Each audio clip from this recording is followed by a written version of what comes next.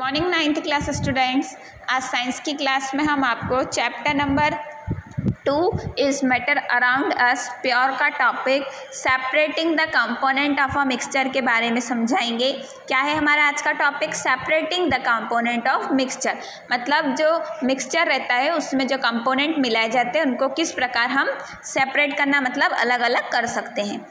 We have learn that most of natural substance are not chemically pure हमने ये पढ़ा है कि बहुत सारे जो नेचुरल सब्सटेंस रहते हैं, वो केमिकली प्योर मतलब शुद्ध नहीं होते। Different method of separation are use to get individual component from a mixture अलग अलग जो मेथड रहती है, उससे क्या कर सकते हैं हम? हर कंपोनेंट को अलग कर सकते हैं मिक्सचर के अंदर से उसको अलग कर सकते हैं।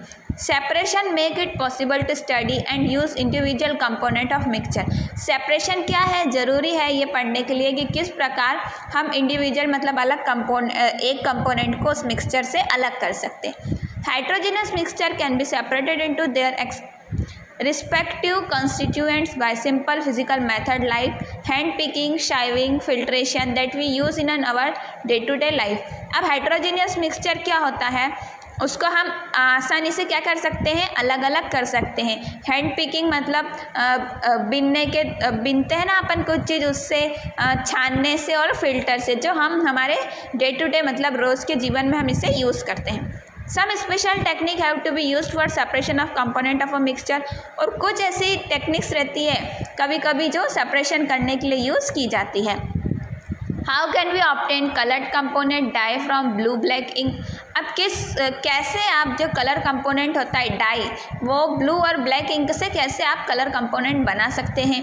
Fill half a beaker with water आप क्या करेंगे? एक बीकर को आधा पानी भरकर उसमें रख देंगे। Put watch glass on the mouth of the beaker अब वॉच ग्लास आती है, उसको कहाँ रखना है आपको? बीकर के माउथ पर. Put few drop of ink on the watch glass अब क्या करना है आपको? उसके ऊपर क्या डालना है? वाटर ड्रॉप मतलब जो स्याही रहती है, इंक जो रहती है, उसकी बूंद आपको उस पर डालना है। Now start heating the beaker अब उसको आप क्या करेंगे? बीकर को हीट देंगे, गर्म करेंगे। We do not heat want heat to ink directly आपको डायरेक्टली इंक को हीट नहीं देना है। You will see that evaporation is take place from the watch glass आप देखेंगे कि क्या होगा? इवापोरेशन मतलब भाप जो है वो उस वॉच ग्लास से निकलने लग जाएगी। Continue heating as a evaporation goes and stop heating when you do not see any further change on the watch glass continue मतलब उसमें अगर आप कंटिन्यू हीटिंग करेंगे तो इवापोरेशन क्या होगा? स्टॉप हो जाएगा। और आपको उसमें कुछ भी हीट दिखाई नहीं देगी। Observe carefully and record your observation आपको केयरफुली क्या करना है? आपके ऑब्जर्वेशन को रिकॉर्ड करना है। डायग्राम देख लीजिए आप इसका। अब ये एक्टिविटी करी तो इससे हम ये हमसे क्या पूछ रहा है? क्वेश्चन पूछ रहा है। क्या क्वेश्चन पूछा उसने? What do you think has a got evaporate from the watch glass अब आपको कैसे पता चला? आपने कैसे देखा कि इवापोरेशन ही हुआ इसके अंदर वॉच ग्लास से? Is there are residue on the watch glass क्या है? उसके ऊपर कुछ चीज़ बची वॉच ग्लास पर? वॉट इज़ योर इंटरप्रिपरेशन आपकी इंटरप्रिटेशन क्या है? इस इंक का सिंगल सब्सटेंस प्योर और इट इज़ अ मिक्सचर अब इंक एक सिंगल सब्सटेंस है प्योर है या फिर वो मिक्सचर है।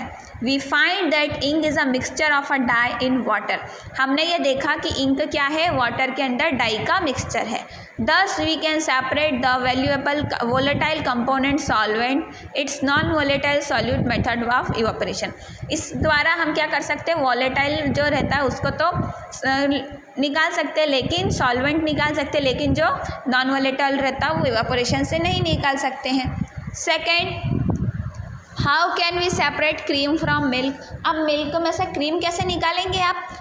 Nowadays we get full cream tone and double tone varieties of milk packed in a polypack tetra pack in a market अब हमको क्या है? आज की जो है आज के दिनों में तो हमको क्या मिलता है? अच्छे से क्रीम मिलता है, जो अलग अलग पैक पैकेट्स में पैक करा हुआ रहता है मार्केट में मिलता है। This variety of milk content different amount of fat उसके अंदर क्या रहता है? फैट रहता है। Activity 2.5 take some full cream milk in a test tube आपको क्या करना है? टेस्ट ट्यूब में क्रीम वाला मिल्क लेना है। Centrifuge it by using centrifugation machine for two minutes अब आपको सेंट्रीफ्यूजन मशीन का यूज़ करके इसका दो मिनट तक रखना है। It is centrifugation machine is not available in school you can do this activity by home using milk churner use in the kitchen अगर आपके घर पर स्कूल में सेंट्रीफ्यूजन मशीन नहीं है तो आप इसको मिल्क कर्नर से भी यूज़ मिल्क कर्नर से भी कर सकते हैं। Have you if you have a milk dairy near by with visit it and ask how they separate cream from milk अगर आपके आसपास कोई डेयरी है तो आप वहाँ पर जाएँ और पूछें कि किस प्रकार वो दूध में से क्रीम को अलग करते हैं। How they make cheese paneer from milk अब वो पनीर कैसे चीज़ कैसे बनाते हैं? नाउ आंसर अब इन क्वेश्चन का आंसर दो। What do you observe churning the milk आपको जब आपने दूध को कर्ण किया तो आपको क्या दिखाई दिया? Explain how the separation of cream from milk take place अब किस प्रकार वो मिल्क में से क्रीम निकला है? Sometime the solid particle in a liquid are very small and passes through filter paper कुछ समय में क्या होता है कि जो लिक्विड के जो पार्टिकल रहते हैं, वो बहुत ही स्मॉल रहते हैं, जो फ़िल्टर पेपर से क्या होते हैं, चला जाते हैं। For such particle in a filtration technique can be use for separation इस प्रकार फ़िल्टर टेक्नीशियन में क्या यूज़ करते सेपरेशन यूज़ करते such mixture are separated by centrifugation ऐसे मिक्सचर को किसके द्वारा सेपरेट किया जाता है? सेंट्रिफ्यूगेशन के द्वारा। The principle is that denser particle force to the bottom of the lighter particle stay at the top when spun rapidly इस प्रकार ये जो प्रिंसिपल है, ये क्या करता है? फोर्स से जो बॉटम और लाइट पार्टिकल रहते हैं, वो टॉप में इकट्ठा हो जाते हैं। एप्लीकेशन अब एप्लीकेशन क्या बोल रही है इसकी? Use in diagnostic laboratory for blood and urine test ये ज़्यादातर कहाँ पर यूज़ होता है? डायग्नोस्टिक जो लेबोरेटरी रहती है, वहाँ पर ब्लड और यूरिन का टेस्ट करने के लिए यूज़ होती है। Use in dairy and home to separate butter from cream अब घर में और डेयरी में यूज़ होती है बटर को क्रीम्स निकालने के लिए। Use in washing machine to squeeze out water from wet cloth और वॉशिंग मशीन में यूज़ होता है जहाँ पर जो गीले कपड़ों को क्या करता है वो उसमें से पानी निकालता है। How can you separate a mixture of two immiscible liquid अब दो इमिसिबल लिक्विड से आप मिक्सचर को कैसे सेपरेट कर सकते हैं? Let us try separate kerosene oil from water using separating funnel अब हम क्या करते हैं? केरोसिन ऑयल जो घासलेट रहता है, उसको वाटर से किस प्रकार सेपरेट किया जाए? For the mixture of kerosene oil water separating funnel आपको क्या करना है? वाटर और केरोसिन ऑयल को एक फनल में डालना है, जैसे आपको फिगर 2.6 में बताया है। Let it stand undistributed for some time so that separated layer of oil and water are form अब आपको उसको बिना हिलाई ढुलाई क्या रख करना है? थोड़ी देर के लिए उसको रख देना है, ताकि क्या हो? वाटर की और केरोसिन क्या, की क्या बन जाए? लेयर बन जाए।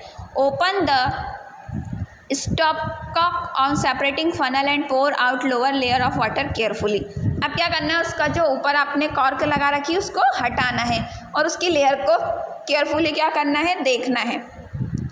Close the stop cock, separating funnel as a oil reaches stop cock. अब क्या करना है, आपको वापस उसको बंद कर देना है। जैसे जैसे वो ऑयल ऊपर आएगा, उसको आपको बंद कर देना आप ये डायग्राम देखिए। अब क्या हो रही है? इसकी एप्लीकेशन क्या कहती है? To separate mixture of oil water इस प्रकार क्या करते हैं? ऑयल में से वाटर को सेपरेट करते हैं। It is in it extraction of iron from its ore the lighter slag is remove from the top of this method leave the molten iron bottom in the furnace इससे क्या होता है? Extraction होता है slag बनता है। और क्या होता है? पिघलने के बाद जो क्या रहता है? फर्नेस में आयरन रह जाता है। The principle that immiscible liquid separate out in layer depending on the densities इसका जो प्रिंसिपल है, ये किस पर डिपेंड रहता है? उसकी डेंसिटीज़ पर। नाइन्थ क्लास स्टूडेंट्स आपके आज की साइंस की क्लास यहीं पर फिनिश हुई। नेक्स्ट क्लास में हम आपको इसी के आगे का टॉपिक समझाएँगे। अगर किसी बच्चे का ये चैप्टर स्टार्टिंग से छूट गया है, या इसका पहला वाला चैप्टर छूट गया है तो वो स्कूल के यूट्यूब चैनल पर जाकर इसको पूरा समझ सकते हैं और अपनी अपनी कॉपीज़ चेक करवाने आपको स्कूल में आना है।